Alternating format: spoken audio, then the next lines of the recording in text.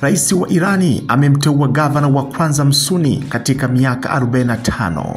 Rais mpya wa Irani Masudi Pezeshkian siku ya jana amemteua Mwislamu wa dhehebu la Suni Arashi kuwa gavana katika mkoa wa Kurdistani. Arashi ameteuliwa kuwa ni mkuu wa mkoa wa Magharibi. Shirika la habari la Irani limesema kwamba na likimnukuu msemaji wa serikali, yeye ndiye msuni wa kwanza kufanywa kuwa gavana katika eneo kati ya nchi yenye washia wengi tangu siku za mwanzo kabisa za mapinduzi ya Kiislamu mwaka 1979.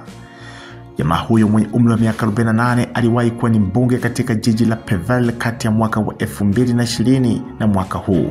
Wasuni wanachangia takribani asilimia kumi ya wakazi wa Irani ambao wengi wao ni Mashia pamoja na Waislamu wa Shia ndio dini rasmi ya taifa hilo. Wanasema ni mara chache sana wameshika nyadhifa muhimu za madaraka tangu mapinduzi.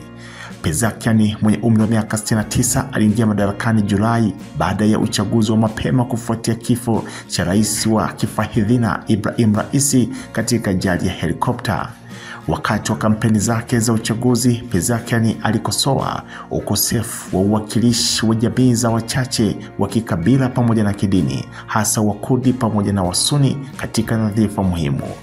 Mnamo Agosti alimfanya mwanachama mwingine wa dhehebu la Wasuni walio wachache Abdul Kim kuwa ni mmoja wa makamu wake wa rais. Na, na wakati huo huo Marekani imeshutumu Irani kwa kutuma taarifa za udukuzi kumhusu Trump kwa washirika wa bwana Biden. Wadukuzi wa Irani walisambaza taarifa za udukuzi kuruhusu kampeni ya uchaguzi wa bwana Donald Trump kwa watu ambao wanahusika na kampeni ya bwana Biden, kulingana na FBI pamoja na mashirika ya kijasusi ya Marekani.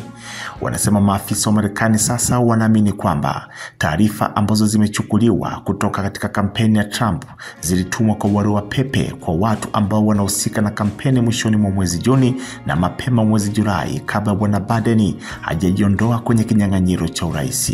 Kwa sasa hakuna ushahidi kwamba wavamizi hao walipokea jibu lolote kutoka kwa wapokeaji wowote katika taarifa hizo.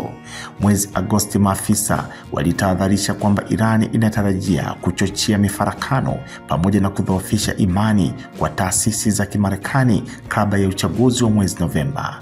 Maafisa wa Marekani pia wamesema kuwa Irani imetumia uhandisi wa kijamii na juhudi nyingine kutafuta ufikiaji wa moja kwa moja kwa kampeni za Demokrati pamoja na republican mbinu ambayo walisema kwamba imetumiwa na Irani pamoja na Urusi katika nchi nyingine ulimwenguni.